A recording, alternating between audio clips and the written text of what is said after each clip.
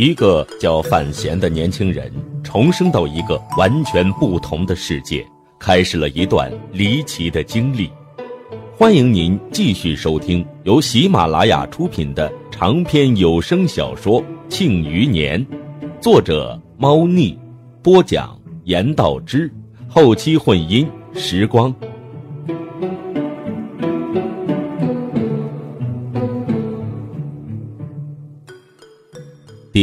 二百四十三集，书房外传来敲门声，范闲嗯了一声，推门而入的是滕大家媳妇儿，手里端着一个托盘，上面放着两碗汤药和几小包药丸，透着浓浓的药草气息。范闲的药如今都是滕大家媳妇儿天天盯着经手，在这种很重要的环节上，他能完全信任的人不多。滕大家媳妇儿将托盘放到桌上，又赶紧去旁边倒了几杯温水，像排兵一样排在了桌子上，生怕范闲吞药的时候来不及倒水。范闲摇摇头，一手拿着药碗，一手抓了把药丸，就像吃糖豆喝糖水一般，面不改色的往嘴里边送。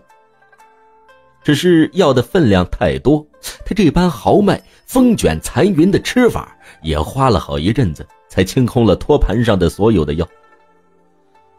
苦了少爷了。滕大家媳妇面带怜惜之色，咂巴咂巴嘴，似乎吃药的是自己。除了怜惜之外，这位妇人也极佩服少爷，天天这么多药灌着，这哪里是人过的日子呀？少爷居然还能面不改色，甘之若饴。那位监察院的费大人也是的，不就是个刀伤，用得着这么紧张，开这么多药吗？范闲笑了笑，说道：“剩了一顿早饭了。”主仆二人说笑两句，滕大家媳妇就离开了书房，范闲却坐在书桌后开始发呆。天天一斤两斤药的吃着，老师的医术自然不必多提，对于。固精培洛确实有极大好处，不过终究不是个彻底解决的办法。想到此节，他不由想到海棠的来信。虎和真舍得将天一道的功法传给自己吗？他自嘲的笑了起来。看来对方是准备将自己像一头猛虎一般培养。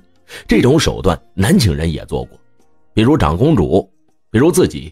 都希望北方那位上山虎能够继续维持他的勇猛，让对方的朝廷始终处在一种紧张而不安的状态之中。天一道的功法外传，如此紧要之事，苦荷一定不敢大意。而天一道门下也只有海棠与自己关系良好，范闲断定日后南下传功的定是海棠。一念及此，范闲不知怎的。竟开始期盼那一天。忽然间，他眼光一低，看着面前那几杯茶，觉得这几杯青黄湛湛的茶水像极了一个个的独眼怪人。一愣之后，却因为自己这古怪的联想力而笑出声来。紧接着，咽喉处一涩，胃心处一胀，呕吐之意大作。知道是吃了太多的药，而且吃的太快。他赶紧端起一杯茶，灌了下来，犹有余悸的揉了揉胸口，满脸苦笑，再不似在滕大家媳妇面前摆酷抖狠的模样了。不知为何，经这么一折腾啊，他的心情却古怪的好了起来，将什么身世、仇恨、威胁、皇宫、江南，全数抛到了脑后。也对呀。人生就是无数把药丸子，你总得慢慢的吞，也许会苦，也许会噎着，但你还得吃啊，开心一点总是好的。高达单手擎刀于后，双脚不丁不拔而立，气势逼人，却没有人看见他身后握住长刀柄的手正在微微颤抖。他看着身前不远处眉开眼笑的范闲，心里咯噔一声。暗想，提斯大人，怎么今天这般高兴呢？全不似前些日子的没态。范闲出书房之后，高达才知道提斯大人今天让自己起早床是要和自己切磋一把。高达明知道自己不是范闲的对手，而且对方最近才受了重伤，当然不肯答应，却是被范闲逼得不行。最后两人决定不用真气较量一番，这正是范闲所愿。他一点真气都没有了，自然是不能真打的。虎卫长刀对上了被宫中侍卫们从悬空庙前的。金线菊丛里捡回来的黑色匕首，两位，呃，高手在范府的花园里真兵对战，叮叮当当，好不热闹，惹来许多下人围观和看热闹，更有些胆大的扯着嗓子为少爷加油助威。不能用真气，屏障的全是身体在控制与反应速度。不一时，高达竟然落了下风。任何招数在范闲的反应与速度面前，似乎都不怎么起作用。兵器上没有附着真气，高达竟是赫然发现，范闲的力气比自己也大一些。对于这个问题，他真是百思不得其解。自己知道自己练武是如何刻苦，怎么可能提斯大人还在自己之上呢？尤其是如今面对着范闲，不仅仅是面对着一位上属。啊！一想到范闲那个被传得沸沸扬扬的身世，高达的出手总是会有些下意识里的畏惧。如果此消彼长，交锋数次之后，他握着长刀的手都抖了起来。范闲手指一拨，细长的黑匕首在他的手上巧妙地转着圈，画着黑光圆圈，看上去十分诡异。其实这只是前世时他住院前在课堂上练就的转笔功夫罢了。但落在高达的眼里，这招啊实在是厉害。他看着高达，皱着眉，摇了摇头，说道：“你也看出我伤好了，不要留手。”说完这句话，他脚尖在微滑的寒冬泥地上一点。整个人向前倾斜着，快速冲了过去。高达眼中脸色一现，终于两只手握上了长刀柄，双腿微蹲，暴喝一声：“破！”长刀当中正正砍了下去，划破范府后宅清晨的空气。刀落得快，范闲出手更快。正是在高达长刀还举在头顶的时候，已经冲到了对方身前，双腿一弹，手腕一含。像鸟儿叼食一般，握着匕首狠狠地扎了下去。当的一声，两个人分开两步，颤了两下便站稳了身体。范闲占了势，让高达的长刀无法完全发力，而高达却是占了长刀本身重量的优势。两个人打了个平手。范闲一笑，挥挥手说道：“今天就这样吧，打明儿起，咱们天天打一架。”我看这对疗伤啊，还是极有好处的。说完这句话，他咳了两声，用袖子掩住了嘴唇，看着袖子上的丝丝血迹，并不怎么惊慌。最后那一击虽然没有用什么真气，但是进血回冲，没有真气护住心脉，还是受了一些伤。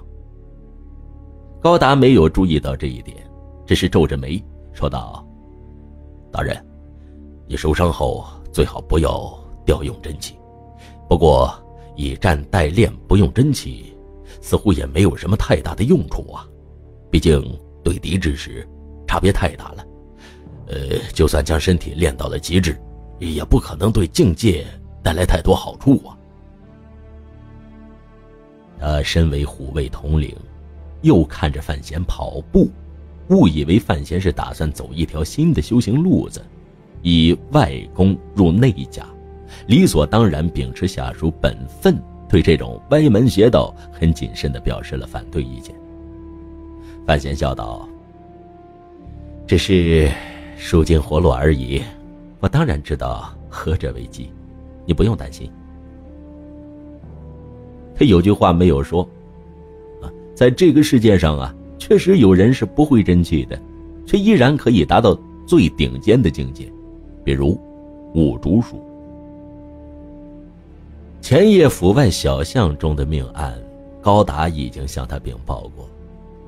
他自以为是五竹叔又杀了一位信阳方面的刺客，并不怎么在意，只是想着总有一日自己得寻个僻静的宅子，再让五竹叔切几盘凉拌萝卜丝儿，自己再喝几盅小酒，回味一下当初在儋州的幸福时光。此时红日已出，晨寒稍去，前宅的丫鬟已经过来喊了。范闲入屋去换了件衣裳，就往前宅行去。一路看着初升旭日，满园清淡冬景，心头倒是舒朗自在，浑然不知最亲近的五竹叔已经飘然远去疗伤，而自己曾经面临过怎样的危险。好在，这一切都过去了。您刚才听到的是由喜马拉雅出品、严道之为您播讲的长篇穿越小说《庆余年》。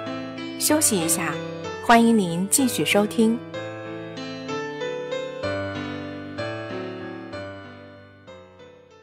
范府的早饭气氛有些怪异，前宅的人毕竟不是天天服侍在范闲身边。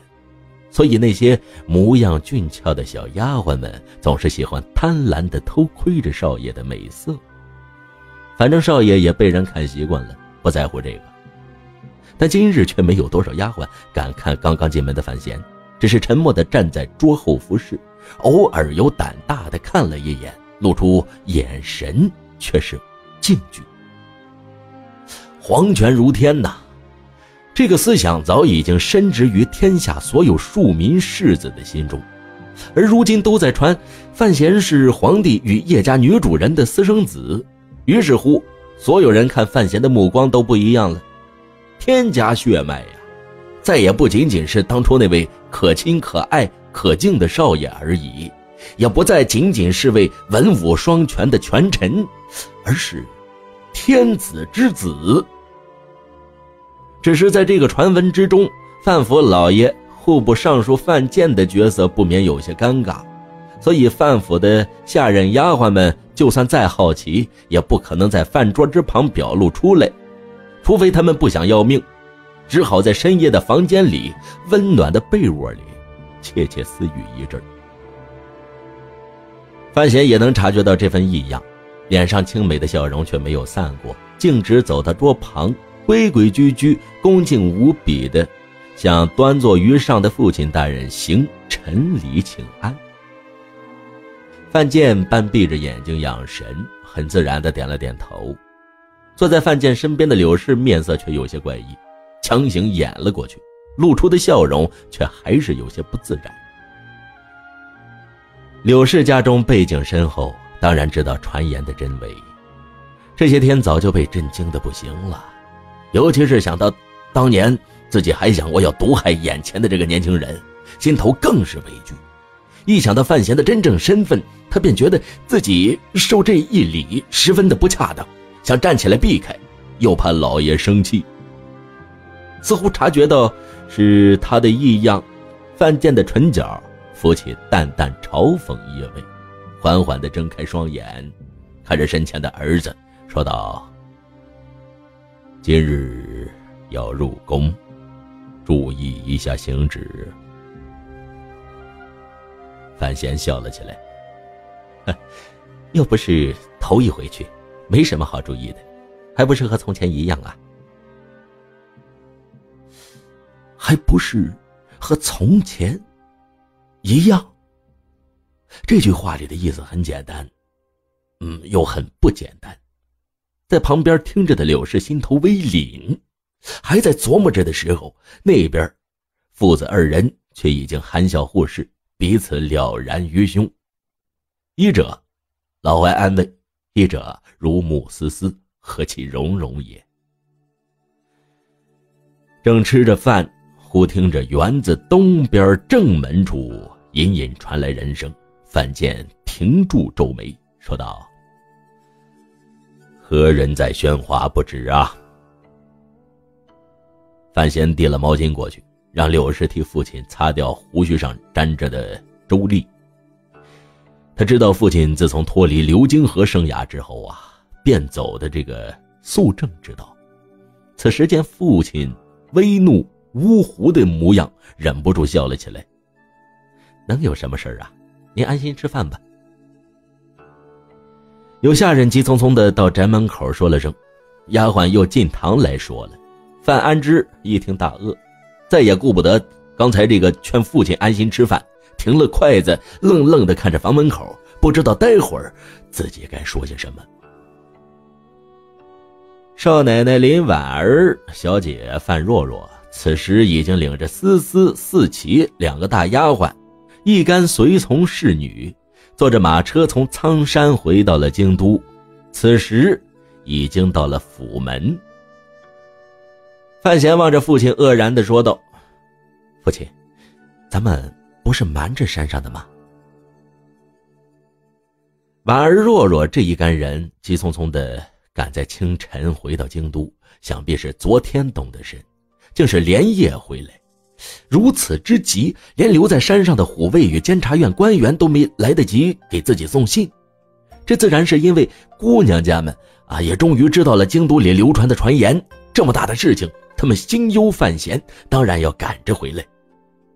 范建得知是儿媳妇和女儿回来了，面色已经恢复了平静，自柳氏手中接过毛巾擦了两下，又低下头去喝粥，慢条斯理的说道：“叶灵儿那丫头和柔家郡主都在山上，这事儿能瞒几天呢？”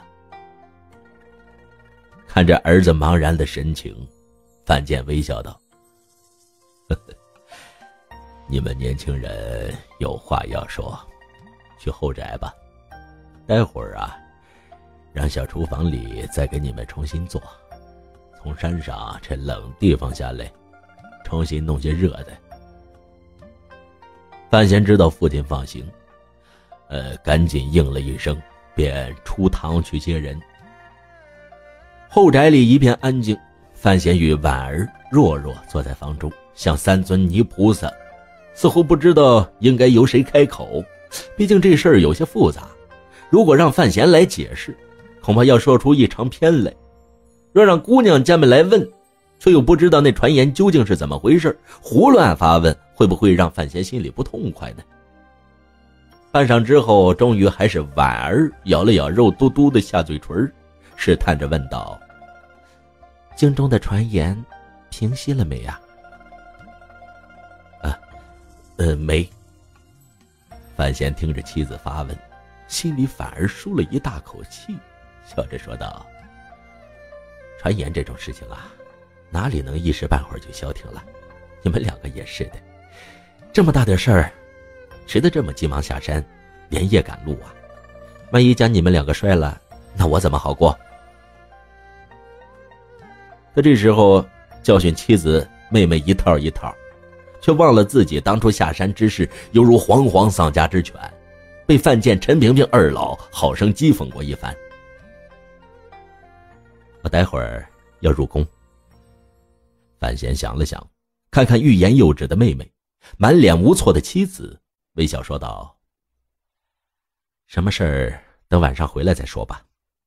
不过有句话在前，我范闲始终便是范闲，这个保证是可以给的。”范闲出门，开始准备入宫的事情。满脸倦容的思思却凑到他的跟前。思思打小与范闲一起长大，情分自不必说，关键是被范闲熏陶的极其胆大，没有什么忌讳与太多的尊卑之念。林婉儿和若若都有些问不出口的事情，反而是这位大丫鬟直接的多。她神秘兮兮的牵着范闲的衣袖，来到花园里一个僻静之处，开口问道：“少爷，听叶小姐说，您，您的母亲，是叶家那位女主人。”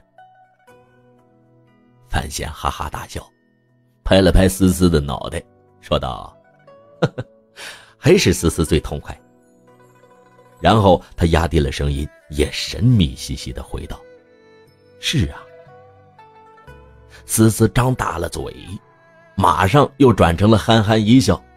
这大丫鬟年纪比范闲还要大个两岁，却始终是这般柔中带愣的性子，犹不满足那颗八卦的心，继续问道：“那，您真的是陛下的儿子？”亲爱的听众朋友，感谢您收听由言道之播讲《时光后期婚姻》的长篇穿越小说《庆余年》。如果您喜欢这个故事，欢迎点赞、转采和打赏。本集故事就到这里，感谢收听。